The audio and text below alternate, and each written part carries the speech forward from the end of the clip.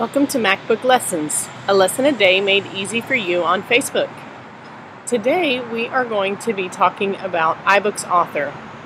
And you'll notice with the lovely background noise that I am in Austin, Texas, sitting at the Texas Computer Educators Association conference, enjoying my time learning about technology.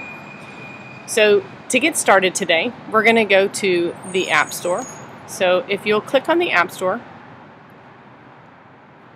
your iTunes will pull up and you're going to do a search for iBooks author up here in the search window. Now I'm going to tell you we may have some uh, issues with internet so I may not be able to pull this up but I'm going to go ahead and tell you anyways. Once you uh, download iBooks author you are going to um, be able to or once you put iBooks author in here you're going to click to purchase it and you're going to have to put in your Apple ID but once you do, it's going to download and it'll show up in your applications folder. So you're going to go to the Finder window and you'll notice, and I left this like this because I wanted you to see that I am missing my applications folder. And I know we discussed this in one of our earlier uh, inter, uh, sorry, movies, but uh, if you go ahead and, and go to the Finder up here and you do Preferences, You'll notice that you have all the things available to you on the sidebar. I'm missing applications, so I'm going to go ahead and check it, and you'll notice it shows up over here.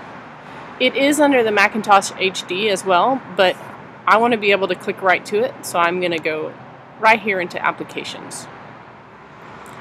So now that I'm in Applications, I'm going to scroll up and I'm going to see if I can find iBooks Author.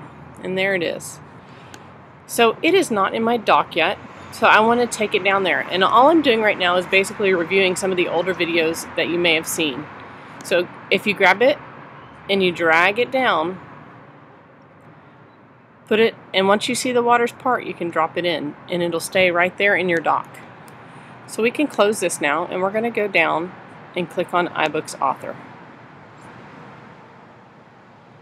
Once I open iBooks Author, I now have the opportunity to choose a format that I would like and I can start creating my document.